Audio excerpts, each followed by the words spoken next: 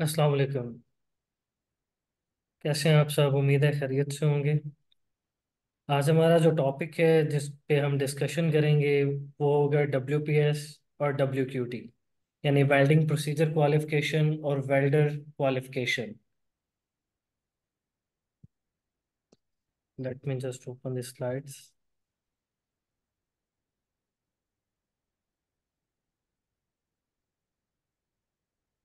okay तो आप में से क्या कोई मुझे बता सकता है कि क्या वो मेन वजह होती है जिसकी वजह से हमें प्रोसीजर को क्वालिफाई करना पड़ता है?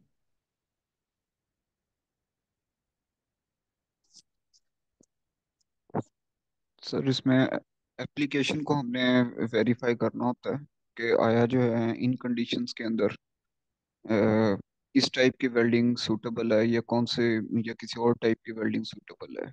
किस मटेरियल के लिए, कितनी स्ट्रेंथ के लिए, कौन से वेल्डिंग ज़्यादा सूटेबल है? कंपैटिबिलिटी चेक करने के लिए। अगर हमें इसे जस्ट एक वर्ड में डिफाइन करना हो, why it is important to qualify a procedure?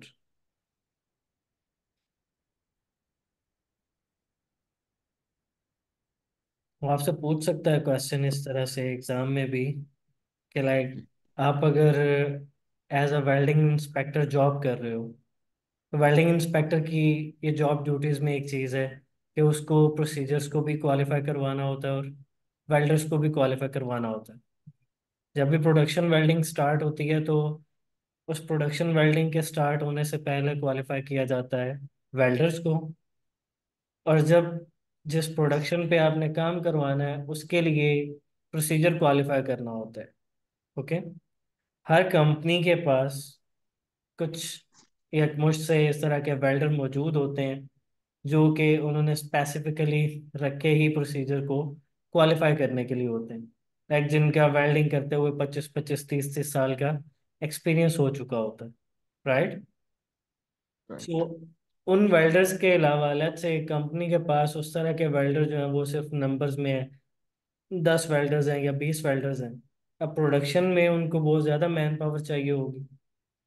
Okay so production में जब उनको मैन पावर चाहिए तो इट इज़ ऑब्वियस कि अब हमें जिस तरह की रेंजेस हमारी पी क्यू आर में अप्रूव हुई हैं, उसी रेंज पे क्वालिफाइड बंदा भी आगे चाहिए। राइट जो कि प्रोडक्शन वेल्डिंग करने के लिए एलिजिबल हो। तो फिर क्वेश्चन इज़ कि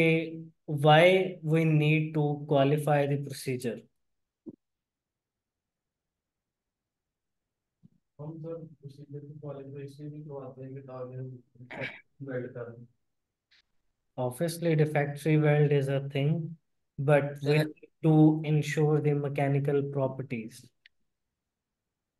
Okay? अब जो कुछ भी कर रहे हो प्रोसीजर बना रहे हो बार बार बनाते हो रिजेक्ट होता है बार बार फिर बनाते हो रिजेक्ट होता है अनलेस एंड अनटिल जब तक के आपको आपकी राइट जो प्रॉपर्टीज़ हैं वो अचीव नहीं हो जाती जो आपकी रिक्वायर्ड मैकेनिकल प्रॉपर्टीज़ हैं राइट सो आप जो प्रोसीजर क्वालिफिकेशन करते हैं वो किस चीज़ को अटेन करने के लिए मैकेनिकल प्रॉपर्टीज़ क्योंकि मैकेनिकल प्रॉपर्टीज़ अचीव होंगी तभी आपको आपकी रिक्वायर्ड स्ट्रेंथ मिलेगी।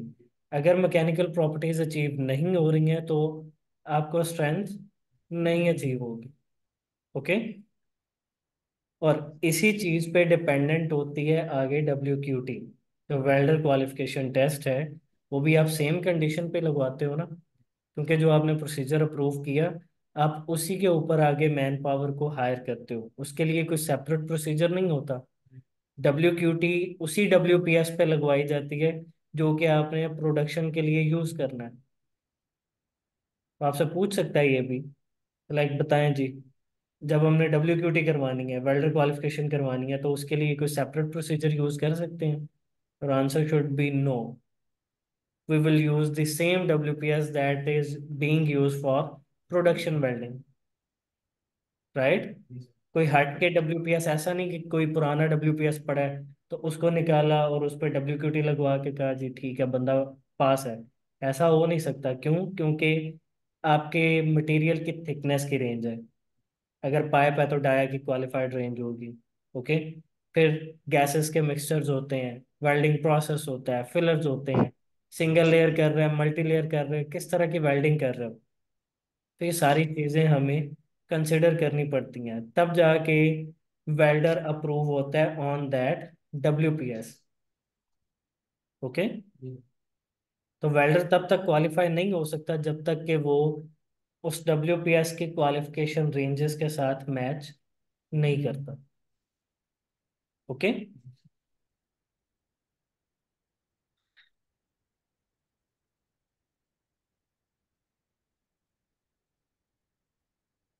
so here we have what is the main reason for carrying out welding procedure qualification test so you need to show that welded joint has the properties which properties whenever we are using the term properties जब भी आपके सामने ये term आ जाए properties that means mechanical properties की बात हो रही है okay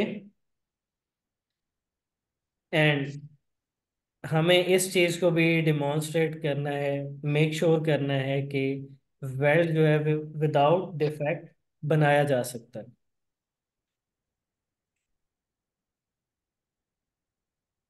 Okay so welding procedure qualification किस स्टैंडर्ड के तहत होती है? तो आपको ये याद होना चाहिए। BSc and ISO 15614 is a sta, standard that is used for welding procedure qualification. ये आपको मैंने चैप्टर नंबर फोर में भी स्लैश करके इसके साथ लिखवाया था। इसका ओल्ड स्टैंडर्ड होता है two eighty eight okay two eighty eight भी इसी के लिए था। लेकिन वो पहले टू एटी एट यूज़ होता था। अभी फिफ्टीन सिक्स वन फोर बन गया वो। उसको सुपरसीड किया है क्योंकि ये रिविजन होती है ना स्टैंडर्ड्स की तो उसमें लाइक पाँच साल बाद या दस साल बाद अगर कोई स्टैंडर्ड रिवाइज हो रहा है उसमें कुछ थोड़ी बहुत मॉडिफिकेशन करेंगे तो उसका नंबर चेंज कर देते हैं। ओके तो स्टैंडर्ड का ओल्ड वन था टू एटी एट ओके अब कोई भी डब्ल्यू पी एस जब आप बनाते हैं तो उसको बनाने से पहले एक प्री डॉक्यूमेंट बनता है, जिसको बोलते हैं प्रिलिमिनरी वेल्डिंग प्रोसीजर स्पेसिफिकेशन जिसको हम पी डब्ल्यू पी एस कहते हैं। पी डब्ल्यू पी एस बन गया, उसके बाद नेक्स्ट आएगी W P Q T welding procedure qualification test जिसको नॉर्मली हम पी क्यू टी भी कहते हैं प्रोसीजर क्वालिफिकेशन टेस्ट ओके ये टेस्ट लगने के बाद उस पर डिस्ट्रक्टिव नॉन डिस्ट्रक्टिव जो भी टेस्टिंग रिक्वायरमेंट्स होंगी करने के बाद उसके रिकॉर्ड की डिटेल्स आएँगी। जो भी टेस्टिंग के रिजल्ट्स आते हैं, आपके पास रिज़ल्ट आएँगे। उन रिजल्ट्स के अकॉर्डिंग आपने रेंजेस को सेट करना होता है। आप नहीं वेल्डिंग इंजीनियर देखेगा इन चीज़ों को कि जो भी उसके पास कंपाइल करके आपने उसको रिकॉर्ड देना उसके अकॉर्डिंग वो रेंजेस सेट करेगा। ओके, जो कि जिनको हम क्वालिफिकेशन रेंजेस कहते हैं राइट सो उन क्वालिफिकेशन रेंजेस से बनेगा ये पी क्यू आर या इसको डब्ल्यू पी क्यू आर भी बोलते हैं। वेल्डिंग प्रोसीजर क्वालिफिकेशन रिकॉर्ड या फिर प्रोसीजर क्वालिफिकेशन रिकॉर्ड ओके? इस पे होंगे आपके और थर्ड पार्टी इंस्पेक्टर के सिग्नेचर स्टैंप होगी एंड देन बनेगा डब्ल्यू पी एस पीक्यूआर जो है वो जिसने भी अप्रूव करवाया, अगर क्लाइंट अप्रूव करवाता है तो उसके पास होगा, अगर कंपनी आपके अप्रूव करवा रही है तो वो आपकी कंपनी के पास एज अ रिकॉर्ड मौजूद रहता है। और इंजीनियर आपको एक डॉक्यूमेंट राइट करके दे देगा that is W P S welding procedure specification welding procedure specification में वही रेंजेस होंगी जो कि अप्रूव हुई हैं आपके पी क्यू आर में। हाँ। ठीक है जो कि क्वालिफिकेशन रेंजेस आपकी पीक्यूआर में क्वालिफाइड हुई हैं उन्हीं रेंजेस में से डब्ल्यूपीएस बनेगा। ओके उससे आउट जाके कोई भी डब्ल्यूपीएस नहीं, नहीं बन सकता। अगर आप उससे आउट जाएँगे तो आपको रिक्वालिफिकेशन चाहिए फिर। Okay okay? तो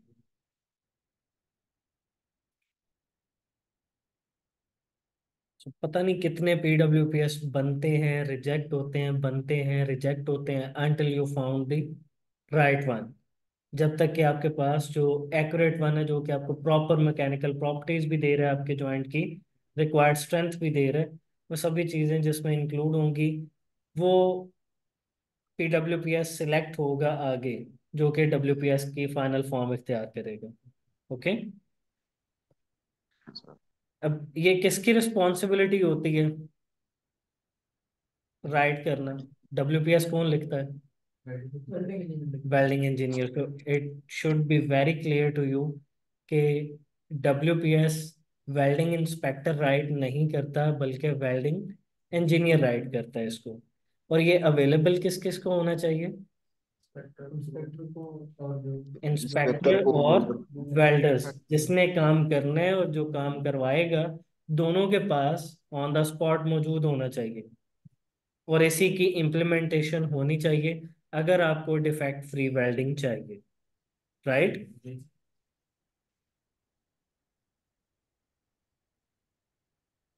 okay okay. जब हम पीक्यूआर बना लेते हैं फॉर एग्जांपल अगर आपसे कोई क्वेश्चन कर लेता है लाइक कि आपने तो प्रोसीजर अप्रूव किया ही नहीं है क्वेश्चन कर देते हैं आपकी क्रेडिबिलिटी पे।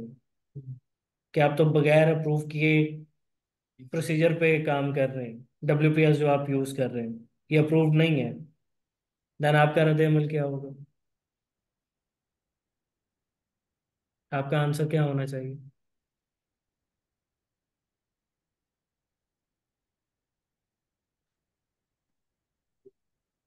प्रीवियस एक्सपीरियंस तो आपके हमारे सिग्नेचर तो होते हैं Yes. जो हमारे पास जो एग्जामिनिंग बॉडी होती है। एग्जैक्टली तो हम अगर वो कहेगा कि आपने प्रूव नहीं करवाया तो हम वो सिग्नेचर लिखेंगे ऑब्वियसली आपके पास जो पीक्यूआर अप्रूव पड़ा हुआ है वो आपने किसी रीजन के लिए अपने पास रखा होता है। वो एज अ ट्रू रिकॉर्ड है कि जब भी क्रेडिबिलिटी पे कोई क्वेश्चन आता है आप वो पीक्यूआर दिखा सकते हैं निकाल के।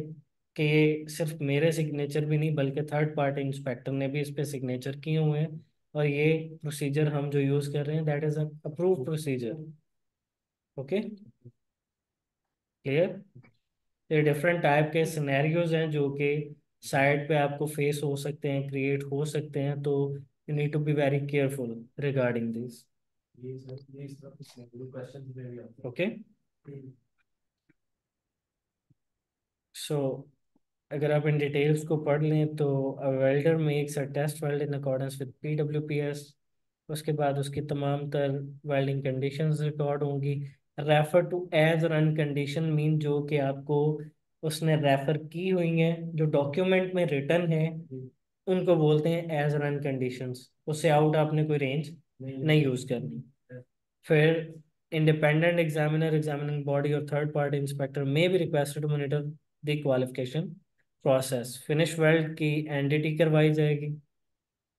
इसके साथ destructive testing okay and welding condition that the test weld allows for the production welding third party is, may be requested to sign the PQR as a true record. ये नॉर्मल प्रैक्टिस है, करवाई जाती है।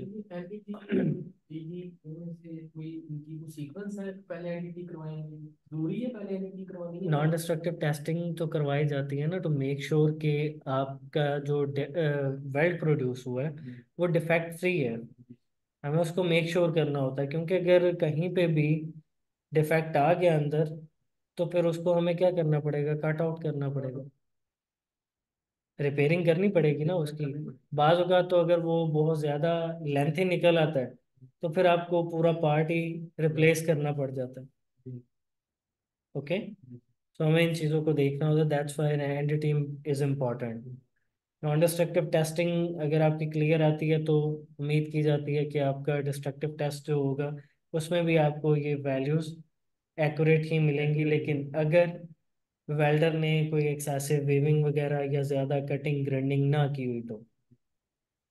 Okay क्योंकि side पर normally ये scenarios face किए जाते हैं कि उसमें वेल्डर्स काफ़ी ज़्यादा नुकसान भी कर जाते हैं अंडरकट्स काफ़ी लेंथ पे दे देते हैं, फिर उनकी बाद में ग्राइंडिंग करवा देते हैं मटेरियल की थिकनेस पे इफ़ेक्ट आ जाता है स्ट्रेस कंसंट्रेशन पॉइंट्स जनरेट हो जाते हैं तो वहाँ से क्रैकिंग मैकेनिज्म डेवलप हो जाता है।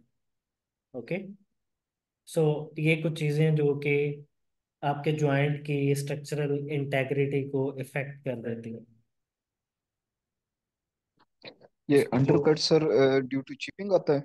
ड्यू टू इनके चिपिंग आता है ये जब वो रिमूवल कर रहे होते हैं excess no weld metal not not due to chipping वो तो डैमेज कंसिडर किया जाएगा ना। जब आप प्रिपेयर कर रहे हो उस टाइम पे अगर कहीं पे भी तो कट लगता है या कहीं से आपका पेरेंट मेटल छीला जाता है तो वो क्या कहलाएगा? वो मैकेनिकल डैमेज होगा। ओके अच्छा अच्छा अंडरकट तब आता है जब आपका इलेक्ट्रोड जो है वो ऑन पर्पस जो आपके प्रिपरेशन के एजेस होते हैं उनके साथ टच करके उनको मेल्ट करना शुरू कर दें नेल शेप की ग्रूव्स डालना शुरू कर दें उसको अंडरकट कहते हैं। Okay okay sir so there are two levels within the standard level one is based on the requirements of ASME section nine and level two has a higher requirement of testing as stated in previous version of this 15614 so we are going for uh, British certification and British consider ASME section 9 as level 1 okay? And they consider level 2 for 15614 because it has more testing requirements than ASME section 9 so if a procedure test is carried out to level 2 that is automatically qualified for level 1 यानी अगर आपने testing करवाई है fifteen six one four के according तो फिर आपको section nine के अकॉर्डिंग करवाने की ज़रूरत नहीं है, आपका सेक्शन नाइन ऑलरेडी क्वालिफाइड है। Okay okay? क्योंकि अभी हमने ये चीज़ स्टडी की है कि section nine is on level one तो ऑब्वियसली लेवल टू में ज़्यादा टेस्टिंग रिक्वायरमेंट्स होंगी। Right but not vice versa लेकिन अगर आपने लेवल वन की टेस्टिंग करवाई है तो फिर वो लेवल टू को क्वालिफाई नहीं करेगी। फिर आपको लेवल टू को क्वालिफाई करना पड़ेगा, यानी फिफ्टीन सिक्स वन फोर के लिए आपको अलहदा से टेस्टिंग करवानी पड़ेगी क्वालिफाई करना पड़ेगा। और अगर कोई लेवल स्पेसिफाइड नहीं है इन अ कॉन्ट्रैक्ट या एप्लीकेशन स्टैंडर्ड तो obviously British will consider their standard and that is applied for level two okay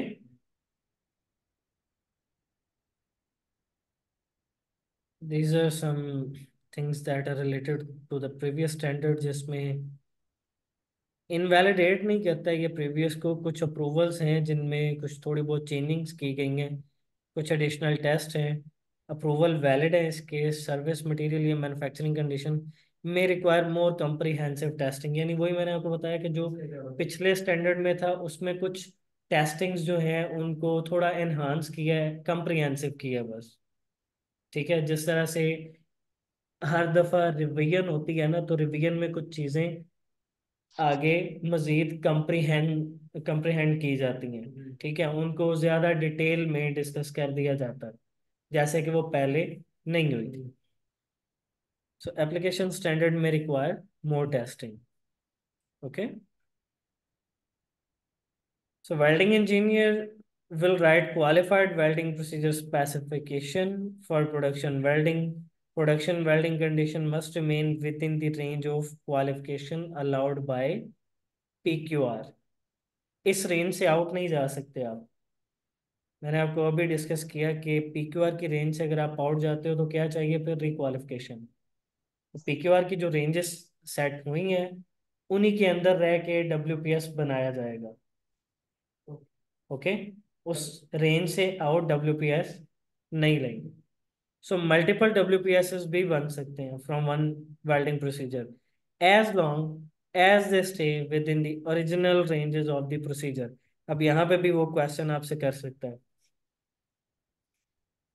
जहाँ मैं आपसे क्वेश्चन कर ले फॉर एग्जांपल बताएँ जी, क्या हम एक वेल्डिंग प्रोसीजर से सिर्फ़ एक ही डब्ल्यू बना सकते हैं या मल्टीपल भी बना सकते हैं? मल्टीपल भी मल्टीपल बन सकते हैं लेकिन कंडीशन क्या है? As long as they stay within the original ranges of the procedure. Approved right sir इसमें ये भी है कि एसेंशियल और नॉन एसेंशियल वेरिएबल सॉरी इसमें ये देखा जाएगा कि नहीं एसेंशियल बच्चे वेरिएबल और नॉन उसमें रेंजेस की बात कर रहे हैं। रेंजेस की अच्छा। बात कर रहे हैं। फॉर एग्जांपल वो आपको थिकनेस की रेंज दे देता है। लेट्स से आपका मटेरियल कार्बन स्टील है वो आपको थिकनेस की रेंज जो क्वालिफाइड हुई है पीक्यूआर में पीक्यूआर में रेंज क्वालिफाइड हो गई आपकी दस एम mm से लेके तीस एम mm तक की। अब आप उसमें दस से लेके बीस एम mm तक की एक रेंज बना देते हो। एक आप पंद्रह से पच्चीस की बना लेते हो। आप पंद्रह से तीस की बना लेते हो। तो ये रेंज किधर आ रही है? Within original PQR range हाँ। जितनी रेंज पीक्यूआर के लिए क्वालिफाइड है उससे ऊपर उससे नीचे हम कंसिडर नहीं करेंगे। उस रेंज के अंदर रहते हुए आप मल्टीपल डब्ल्यू पी एस बना सकते हो। लेट्स से आपको एम्पेरेज की रेंज उसमें मिली हुई है आपने 25 से 45 एम्पेयर यूज़ कर सकते हो। 25 से 45 आप एक में 25 से 30 रख देते हो एक में 35 से 40 रख देते हो मिनिमम मैक्सिमम की रेंज ओके? तो इस तरह से लेकिन वो रेंज किधर आ रही है? Within that qualified range okay range में आ रही राइट पर्पस क्या होता है? डब्ल्यू पी एस का to achieve specific properties mechanical strength corrosion resistance composition right आपको डिफेक्ट से फ्रीडम चाहिए क्यूसी प्रोसीजर को इन्फोर्स करना है, तभी आपको क्वालिटी क्वालिटी जो है वो अचीव होगी। अगर क्यूसी प्रोसीजर आप अप्लाई नहीं करते हो या उनको इम्प्लीमेंट नहीं करते हो तो आपको क्वालिटी अचीव नहीं नहीं हो सकती। Standardize on method and cost obviously हमें उसी उसी को नहीं दूसरे प्रोसीजर्स भी होते हैं लाइक मटेरियल हैंडलिंग है स्टोरेज है सेफ्टी प्रिकॉशंस आ जाती हैं। क्वालिटी को कंट्रोल करना है ना तो उसमें जो भी चीज़ें, जो भी प्रोसीजर इन्वॉल्व होंगे, उनको हम क्यूसी प्रोसीजर्स कहते हैं। Okay to control the production schedules record के लिए एंड एप्लीकेशन स्टैंडर्ड या कॉन्ट्रैक्ट की रिक्वायरमेंट होती है तो उसको कंप्लीट करने के लिए हमें डब्ल्यू बनाना पड़ता है और उसको इम्प्लीमेंट करना पड़ता है। अकॉर्डिंग टू एन स्टैंडर्ड्स कुछ वेरिएबल्स हैं जो कि असेंशियल हैं, कुछ नॉन असेंशियल हैं और कुछ हैं additional variables non essential we will not discuss because you are not expecting any question from there right so essential variables essential variables ऐसे वेरिएबल्स होते हैं जिनको हम बियॉन्ड अ स्पेसिफाइड लिमिट अगर चेंज करते हैं तो ज्वाइंट की प्रॉपर्टीज़ पे इफ़ेक्ट आएगा। अब कौन से प्रॉपर्टीज़ पे? ये आपको लाजमी कंसिडर करना है क्योंकि अप्रोच डिफरेंट है। British will go for joint strength and ductility British will go for strength and ductility, and Americans will go for toughness and hardness. Okay? So so, इसीलिए एडिशनल वेरिएबल जो है जिनको British जो है वो additional class करते हैं। अगर आप इनको beyond a specified limit change करते हो तो चेंज किसमें आएगा? टफनेस और हार्डनेस में राइट सो ब्रिटिश के लिए जो एडिशनल वेरिएबल्स हैं अमेरिकन के लिए वो सप्लीमेंट्री एसेंशियल वेरिएबल है वेरिएबल्स में क्लास होंगे। So range of qualification for production welding is uh, based on the limit that BSE and ISO standard specifies for essential variables and when applicable the additional variable also. So I told you अगर आप इसको beyond a specified limit change करेंगे तो particularly joint strength और ductility पे impact होगा और अगर आप एडिशनल को चेंज करते हैं तो इसका इफ़ेक्ट किस पे होगा टफनेस और हार्डनेस हार्डनेस में so ASME call variable that affect toughness as supplementary essential but does not refer to hardness sometimes so mostly they refer to toughness so ये कुछ वेरिएबल्स हैं ये आपको याद होने चाहिए। लाइक like यहाँ पे भी वो आपसे क्वेश्चनिंग कर सकता है। प्रीवियस भी क्वेश्चनिंग हो सकती है कि why are some uh, variables classed as essential and why are some classed as additional? What is the reason? तो रीज़न में आप बताएँगे कि एडिशनल जो है वो इस पे इम्पैक्ट रखते हैं और जो आपके एसेंशियल वेरिएबल्स हैं वो इस चीज़ पे इम्पैक्ट रखते हैं राइट सो आपसे उसे से लीड करता हुआ आगे अगर क्वेश्चन कर ले के बताएँ जी एसेंशियल वेरिएबल कौन कौन से हैं? तो उसमें वेल्डिंग प्रोसेस है पोस्टल हीट ट्रीटमेंट है material type electro type filler wire type है मटेरियल की thickness polarity pre heat temperature right and some typical additional variables are heat input and welding position तो आप इनमें से जो भी आपको इजी लगता है, उसको रिमेंबर कर लें, उससे हट के जो आएगा, वो अदर में फॉल करेगा। Okay okay? एडिशनल जो है वो ज़्यादा इजी है रिमेम्बर करने के लिए हेट इनपुट और वेल्डिंग पोजीशन है। इससे हट के अगर आता है तो वो किसमें क्लास होगा? एसेंशियल में। राइट तो इस तरह से आप इजीली इसको याद भी रख लेंगे। आप कंफ्यूज भी नहीं होंगे। Okay so producing a welding procedure involve planning task collecting data writing a procedure for use of for trial test file बनाएँगे इवेलुएट करेंगे रिज़ल्ट को अप्रूव करेंगे प्रोसीजर को और फिर डॉक्यूमेंट्स प्रिपेयर करेंगे। ओके यही प्रोसीजर चलता है इसका। ये कुछ कोड्स हैं जैसे A W S D one point one that is structural steel welding code two six three three for steel pipe work A P eleven zero four welding of pipelines के लिए four five one five welding of pipeline over seven bar pressure not much to remember. Just go through. Okay. Okay.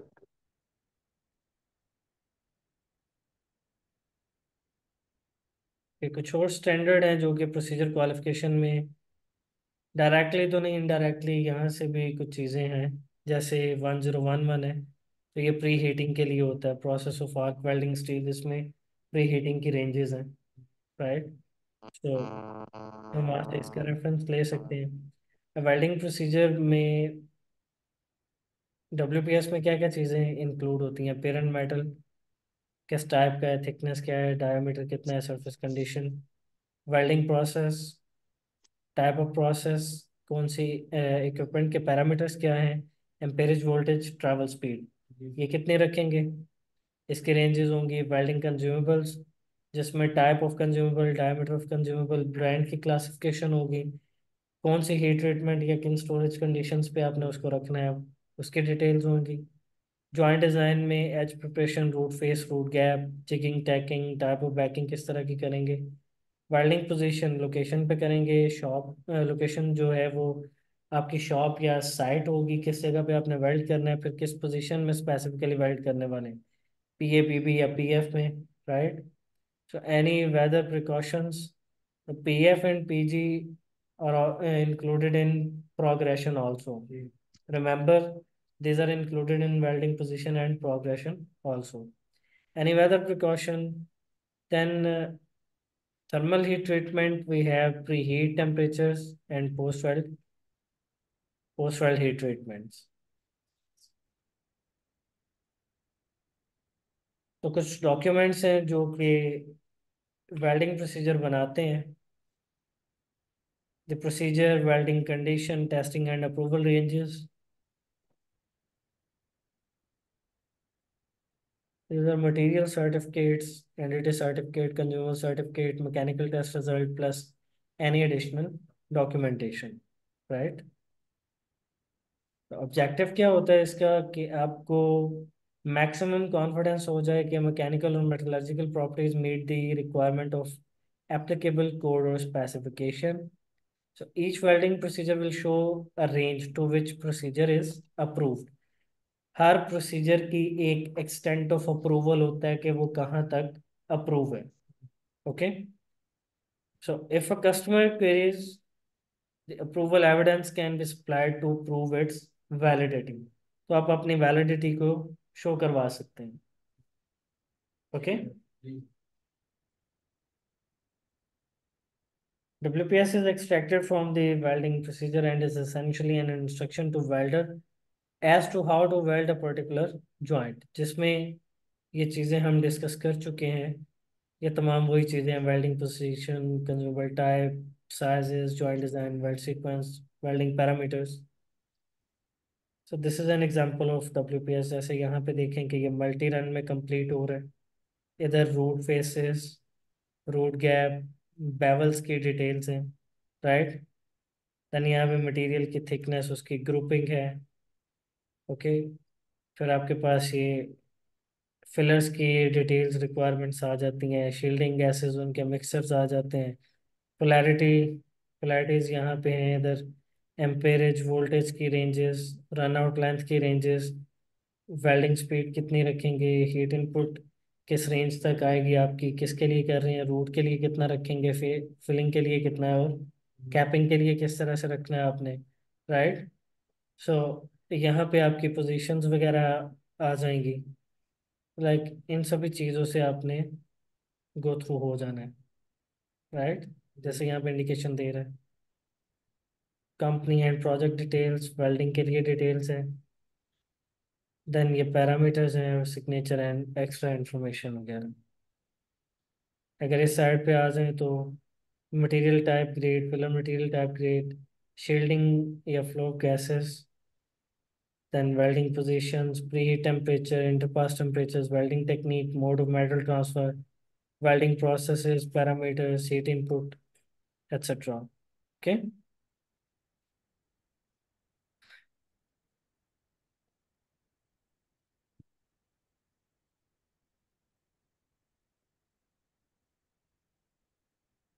So when impact or hardness requirements are specified, impact test shall be taken in the highest rate input position and hard hardness test shall be taken from the weld in lowest rate input position in order to qualify for all positions.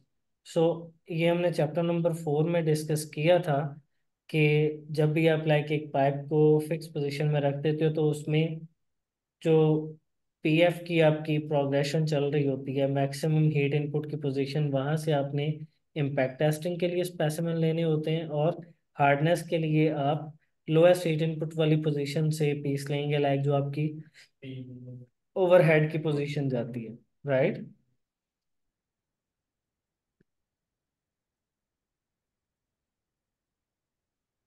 So welder qualification, nine six zero 9606 we have this standard for welder qualification.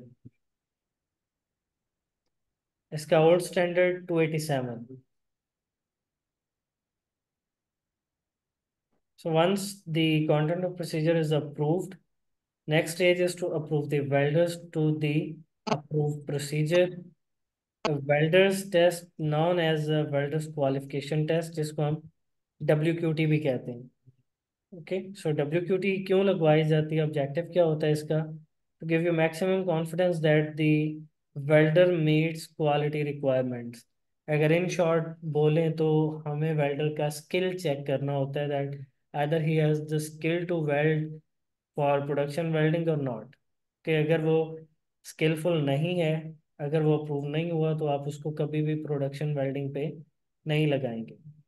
क्या लगा सकते हैं? नहीं लगा सकते। जब तक के वो अप्रूव ना हो जाए। Okay and as I told you test weld should be carried out on same material and same condition as for the production welds यानी जो डब्ल्यू पी एस आपने अप्रूव करवाया सेम उसी डब्ल्यू पी एस पे same condition में आपने W Q T भी carry out करवानी है। अगर उस पर वेल्डर वेल्ड लगाने में कामयाब हो जाता है देन आप उसको अलो करेंगे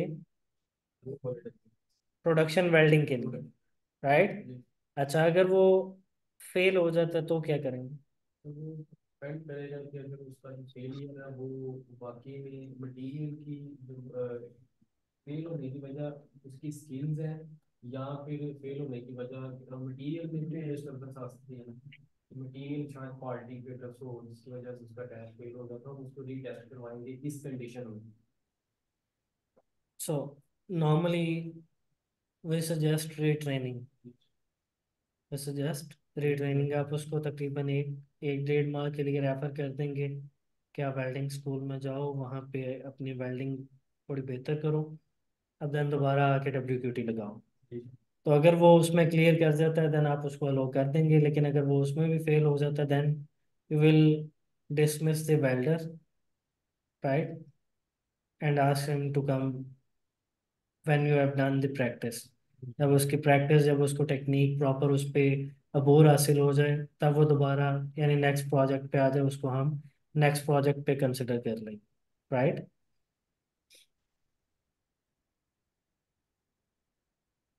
so information that should be included on a welder's test certificate sketch of run sequence welding positions joint configuration details material type कितना कौन सा क्वालिफाई किया उसने, कितने डाया पे क्वालिफाइड है टेस्ट के रिज़ल्ट क्या है रिमार्क्स क्या है टेस्ट की लोकेशन क्या थी, किसने विटनेस किया एक्सटेंट और रेंज ऑफ़ अप्रूवल अब इंस्पेक्टर के तो मज़े हैं.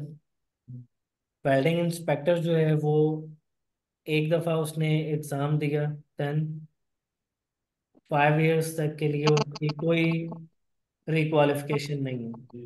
ठीक है? अगर उसकी रिक्वालिफिकेशन आती भी है तो पाँच साल के बाद उसको कुछ फ़ी पे करना होती है, पाँच साल की मजीद एक्सटेंशन मिल जाती है। तो सर्टिफिकेशन पे दस साल गुजरेंगे। तब उसने दोबारा एग्ज़ाम देना। ठीक है? लेकिन वेल्डर्स के लिए एक्सटेंट ऑफ़ अप्रूवल होता है कि अगर वो कॉन्टिन्यूसली भी वेल्ड कर रहा है कॉन्टिन्यूस वेल्डिंग करते हुए भी, अगर उसको तकरीबन डेढ़ से दो साल का ये लिमिट होती है। अराउंड स्टैंडर्ड्स में वेरी कर सकता है, लेकिन राउंड अबाउट इतनी ही लिमिट होती है। तो इतना उसको अलो होता है, उसके बाद उसने दोबारा से अपना सर्टिफिकेट रिन्यू करवाना है। और अगर उसने छः माह से कोई जॉइंट अप्रूव करवाया ही नहीं, कोई जॉइंट ही नहीं लगाया, उसने वेल्डिंग ही नहीं की छः माह से तो फिर उसका जो सर्टिफिकेट है वो ऑटोमेटिकली एक्सपायर हो जाएगा, अब उसे दोबारा से वेल्ड लगाना पड़ेगा और अब खुद को अप्रूव करवाना पड़ेगा। तो कंपनीज़ में मुझे ये बताएँ कि कंपनीज़ क्या करती हैं? अगर किसी के पास पहले सर्टिफिकेट है, क्या वो उसको कंसिडर कर लेंगे? नॉर्मली नहीं करते। जब भी नया प्रोजेक्ट लगता है तो उसमें चाहे कोई बंदा ऑलरेडी उस सेम मटेरियल के लिए सेम रेंजेस के लिए क्वालिफाइड है भी तो फिर भी वो अपना शक दूर करने के लिए उससे डब्ल्यू क्यू टी लगवाते हैं और फिर उसको सर्टिफिकेट इशू करते हैं। ओके और उसके सर्टिफिकेट पे भी थर्ड पार्टी इंस्पेक्टर के सिग्नेचर होते हैं। जिसने इसको मॉनिटर किया होता है डब्ल्यू क्यू टी को अलॉन्ग विद यू सो ये कुछ जनरल एंड पर्सनल इंफॉर्मेशन है ऑन दी अपर पार्ट जो कि वेल्डर की पर्सनल डिटेल्स में आती है। वेल्ड इंफॉर्मेशन एंड क्वालिफिकेशन की रेंजेस यहाँ पे आपको शो करवाई जा रही हैं एंड टेस्टिंग के रिजल्ट्स कौन सा टेस्ट इसने पास किए हैं, कुछ या फेल हुए हैं एक्सेप्टेबल था या नहीं एंड वैलिडेशन पीरियड होता है, जिसमें डेट ऑफ़ वैलिडेशन होती है कि इस डेट से लेके इस डेट तक किसका ये सर्टिफिकेट वैलिड है और इन डेट है राइट right? अब इसमें ये कुछ टर्म्स हमें शो होती हैं इस तरह से लाइक तो इनका क्या मतलब होता है? 135 stand for welding process 135 is for MAG welding process. Product type क्या है इसमें? पी पी अगर है तो प्लेट के लिए पाइप है तो उसके लिए टी यूज़ होगा। ओके। बी डब्ल्यू या एफ़ डब्ल्यू बी डब्ल्यू है तो बट वेल्ड एफ़ डब्ल्यू है तो fillet weld then filler metal का ग्रुप है ग्रुप नंबर वन है यहाँ पे। टाइप ऑफ़ कंज्यूमेबल ऐसे लाइक टेस्ट पीस की डायमेंशंस कितनी है थिकनेस टेन है पीबी वेल्डिंग पोजीशन है जो कि हॉरिजॉन्टल वर्टिकल में आती है। वेल्ड डिटेल्स हैं कि मल्टी लेयर है या सिंगल लेयर है। And backing N B means no backing okay तो बैकिंग रेंज तो यहाँ पे ये देख लें। इनमें आप मेन मेन चीज़ें जो है उनको देख लीजिएगा triple one double one four one two one one three one one three five one three six then you 131, 135, 136. Then you have 141, 15, 311.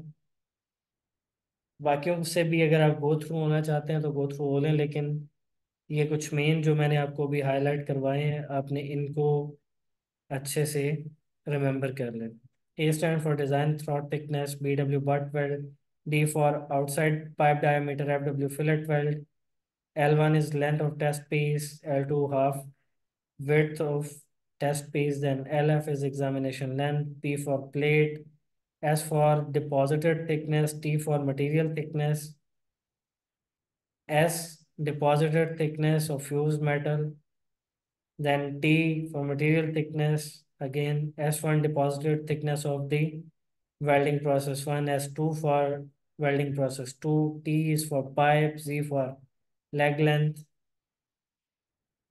M stand for metal core, P stand for electrode core, S stand for solid wire. जो हमने consumable में देखा था ना S stand for solid wire. V stand for electrode wire that is rutile or basic, W for basic, Y for basic fluoride. And now here is the difference. W is for slow freezing, Y is for fast freezing, and Z is for electrode core, other types. FB, flux packing, BS, welding from both side, SS, single side welding, CI, consumable insert, LW, leftward welding, MB, material backing, NB without backing, right? GB gas backing, ML multi-layer, SL single layer, RW right rightward welding, SS single side welding. Okay. So range of qualification allowed for production welding is based on limit that EN standard specifies for the welder qualification essential variables. तो welder का qualification certificate automatically expire हो जाएगा अगर छः मास या उससे ज़्यादा के लिए उसने टेस्ट वेल्ड नहीं लगाया तो आप कब उसका सर्टिफिकेट चेक कर सकते हो लाइक अगर वो बहुत ज़्यादा हाई रिपेयर रेट दे रहा हो या फिर वो according to W P S welding ना कर रहा हो सो वेल्डर क्वालिफिकेशन के भी एसेंशियल वेरिएबल्स हैं कि अगर आप उनको बियॉन्ड स्पेसिफाइड लिमिट चेंज करते हो तो वेल्डर को ज़्यादा स्किल रिक्वायर होगा वेल्ड करने के लिए। अब ये कौन कौन से हैं? Welding process material type electrode type material thickness pipe diameter welding position weld backing let's say welder जो है वो क्वालिफाइड है कार्बन स्टील के लिए। आप उसको एसएस की वेल्डिंग के लिए लगा देते हो स्टेनलेस स्टील की वेल्डिंग के लिए। तो वो कर सकेगा? करेगा ज़रूर, लेकिन आपको एक्यूरेट या क्वालिटी वेल्ड नहीं दे सकता because he is not qualified on that तो this is what is meant to be with welder essential variables के अगर आप इन वेरिएबल्स में से किसी को चेंज करते हो तो फिर वेल्डर को बहुत ज़्यादा स्किल रिक्वायर होगा टेस्ट वेल्ड लगाने के लिए राइट सर चीज़ें जी। एक एक पॉइंट ये था फिलेट वेल्ड और बट वेल्ड के हवाले से। जी। तो आया जो फिलेट वेल्ड वाला वो बट के लिए क्वालिफाइड है और बट वाला फिलेट के लिए क्वालिफाइड है।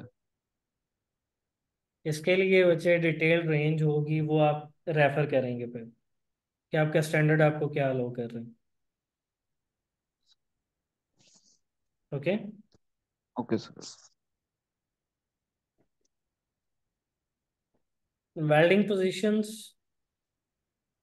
वैसे नॉर्मली इनके लिए ना सेपरेट होती हैं बट वेल्ड के लिए फिलेट वेल्ड के लिए सेपरेट क्वालिफिकेशन रेंजेस होती हैं। कुछ में ये मैच कर जाते हैं, कुछ में ये डिफर कर जाते हैं।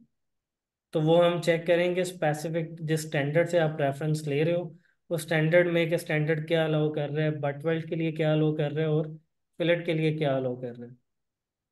Okay right So welding positions, joint configuration details, material type qualified, pipe diameter, test result, remarks, test location, and witnessed by whom. Extent or range of approval, right? So it is normal for a qualified welding inspector, usually from an independent, like third party inspector to witness the welding. Under normal circumstances, only one test weld per welder is permitted. अगर वो fail हो जाता है तो आप उसको training करवाएँगे right अगर वेल्डर फेल होता है, लेकिन फेलियर जो है वो फेलियर जिस वजह से आ रहा है, वो फॉल्ट वेल्डर का नहीं, बल्कि फॉल्टी इक्विपमेंट है। तो आप क्या करेंगे इक्विपमेंट को रिप्लेस करें, जो भी उसमें खराबी है, उसको दूर करें। दूर करने के बाद आपने अगेन उसे टेस्ट वेल्ड लगवा लें right testing of the test weld is done in accordance with the applicable code and this line is most important. It is not normal to carry out tests for the mechanical properties of the welds. Normally हम mechanical testing WQT पे नहीं करते हाँ unless and until जब तक के client की side से रिक्वायरमेंट ना हो okay okay?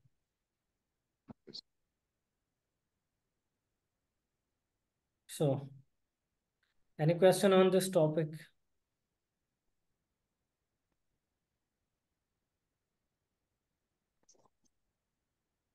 Any question regarding WPS and WQT? तो जो अब्रीवेशन पढ़े हैं हमने वो हर एक अब्रीवेशन को याद रखना है ज़रूरी है बच्चे रिगार्डिंग आपको वो आपको आइडिया होना चाहिए जो आपका WPS WQT का पेपर होगा उसमें आपको रीड करना आना चाहिए। तो अगर आप एब्रीविएशन रीड नहीं कर सकोगे तो वो फिर मुश्किल होगी आपके लिए वहाँ पे उसको आइडेंटिफाई करना। ओके ओके सर सो उसको हमें रिमेम्बर करना। Clear yes sir clear clear